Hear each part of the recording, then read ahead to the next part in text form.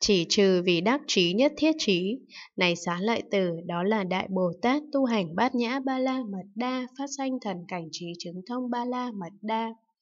Này xá lợi tử, có Đại Bồ Tát với thiên nhĩ trí chứng thông, là thiên nhĩ thanh tịnh tối thắng siêu nhân, có thể như thật nghe mọi thứ tiếng của loài hữu tình vô tình trong hằng hà sa số thế giới ở mười phương, nghĩa là nghe tiếng khắp cả địa ngục, tiếng của bàng xanh, tiếng của ngạ quỷ, tiếng người, tiếng trời, tiếng thanh văn, tiếng độc giác, tiếng Bồ Tát, tiếng Như Lai và tất cả tiếng của loài hữu tình vô tình khác, dù tiếng lớn hay nhỏ đều nghe không bị chướng ngại. Này xá lợi tử, Đại Bồ Tát này tuy có đầy đủ công dụng của thiên nhĩ trí như vậy, nhưng không tự cao, không chấp tánh thiên nhĩ trí chứng thông, không chấp vào việc thiên nhĩ trí chứng thông, không chấp người có thiên nhĩ trí chứng thông. Đối với chấp hay không chấp, cả hai đều không có gì để chấp. Vì sao? Này xá lợi tử,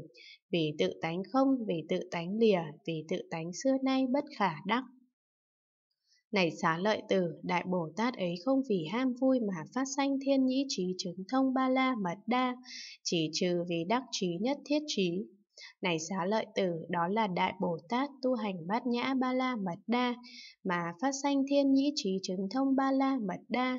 Này xá lợi tử, có Đại Bồ Tát với tha tâm trí chứng thông, có thể như thật biết tâm và tâm sở của các loài hữu tình trong hàng hà sa số thế giới ở mười phương, nghĩa là biết các loài hữu tình có tâm tham hay lìa